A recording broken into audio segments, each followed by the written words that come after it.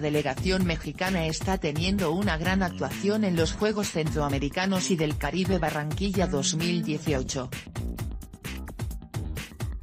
Las medallas están cayendo para los aztecas y aquí está un recuento de todas las preseas ganadas por los mexicanos durante la actividad de este lunes 23 de julio. Así fue la medalla 100 para México en Barranquilla 2018 México alcanzó la medalla 100 en los Juegos Centroamericanos de Barranquilla 2018.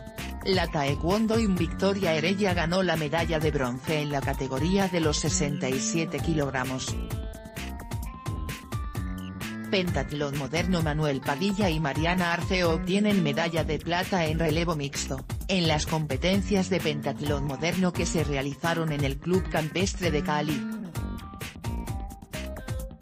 Ciclismo El equipo de persecución varonil logró la medalla de oro en el velódromo Alcides Nieto de Barranquilla, gimnasia artística medalla de oro para Atiri Sánchez gana medalla de oro en barras asimétricas y bronce en salto mientras que Fabián de Luna hizo lo propio y se colgó la plata en anillos. Taekwondo Brigida Acosta se quedó con la presea de plata tras caer 28 a 15 frente a la dominicana Caterine Rodríguez.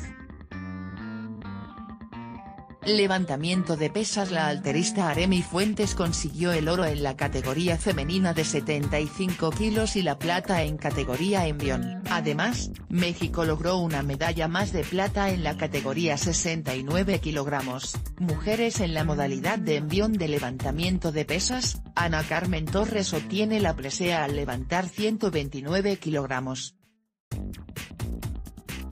Tenis de mesa Ricardo Villa y Marcos Madrid se colgaron el metal argento luego de llegar a la final de tenis de mesa pero ser derrotados por la pareja cubana. Tiro Deportivo México consiguió medalla de oro en tiro deportivo, fue en 10 metros rifle de aire varonil por equipos,